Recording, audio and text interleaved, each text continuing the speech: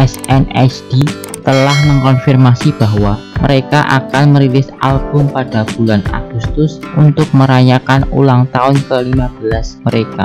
Dilansir dari Newsien, SM Entertainment mengatakan SNSD akan membuat comeback yang telah lama ditunggu pada bulan Agustus untuk merayakan ulang tahun ke-15 mereka. Ini akan menjadi perilisan album pertama grup dalam lima tahun. Sejak perilisan Holiday Night pada Agustus 2017.